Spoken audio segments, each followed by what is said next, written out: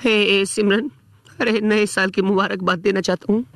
अरे अरे दुनिया वालों अरे मेरी बात सुनो मैं शाहरुख हूँ। सबके दिलों में राज करता हूँ मैं सबसे प्यार करता हूँ मैं। नया साल मुबारक हो आप लोगों को मेरी तरफ़ से मेरे परिवार की तरफ़ से सब लोगों को।